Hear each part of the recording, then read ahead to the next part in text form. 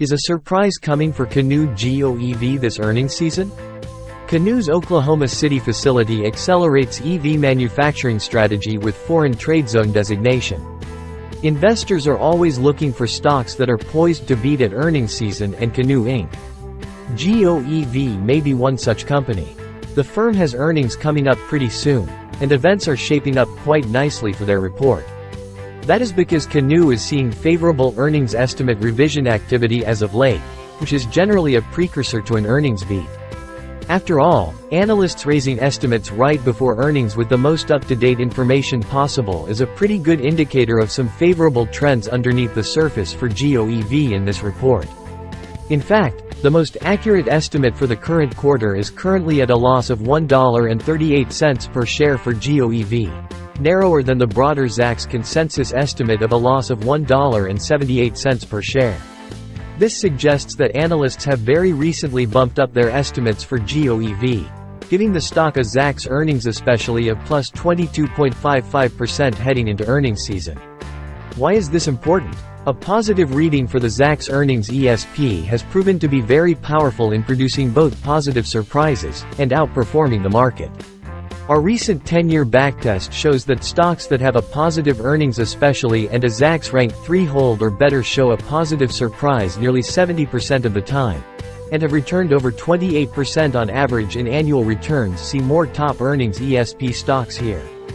Given that GOEV has a Zacks rank 3 and an ESP in positive territory, investors might want to consider this stock ahead of earnings.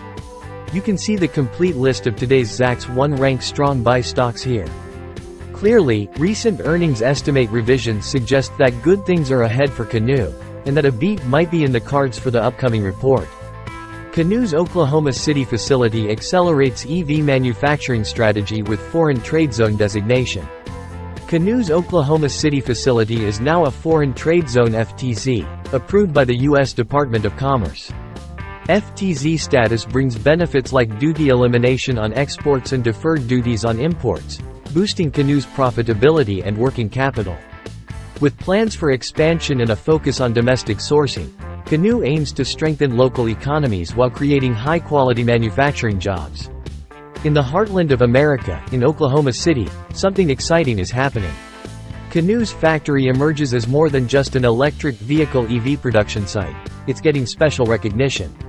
The U.S. Department of Commerce just named it a Foreign Trade Zone FTZ. This means big things are happening, not just for Canoo, but for the whole area.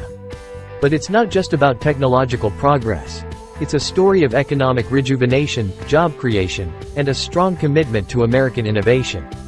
Canoo's approach to EV production integrates breakthrough technologies, unique design concepts, and a business model spanning multiple owners across the vehicle lifecycle. Manufacturing strength is centered around a Canoo's modular electric platform carefully designed to maximize interior space and meet various business and consumer needs.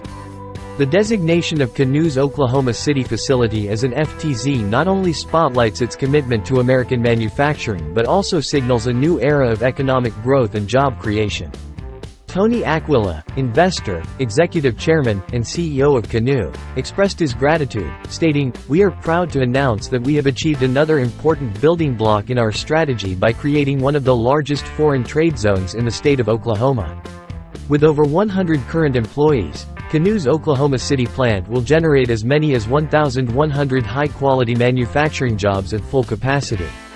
The FTZ designation brings a host of benefits, including the elimination of customs duties on vehicles exported overseas and the deferral of duties on imported parts for domestic sales.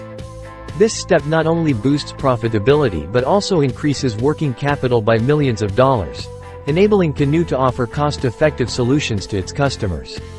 The foreign trade zone status opens avenues for international expansion, with anticipated cost reductions of up to 5% on parts imported from around the world.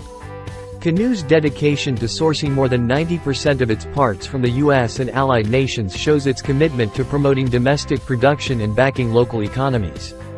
Aquila stresses the strategic importance of the Oklahoma City location, situated on I-40, a crucial route for nationwide product distribution.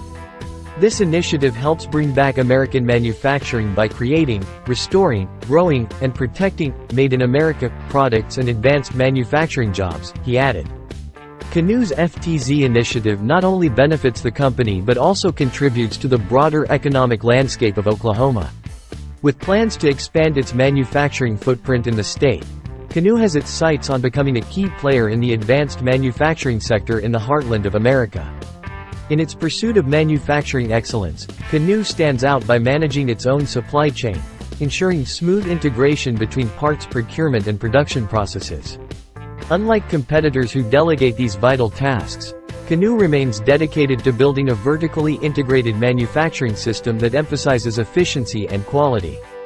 As Canoo waits for approvals for its remaining manufacturing facilities in Oklahoma, the company's FTZs are set to become some of the largest in the state. This expansion not only highlights Canoo's dedication to innovation and sustainability but also confirms its position as a leading force in shaping the future of EV manufacturing.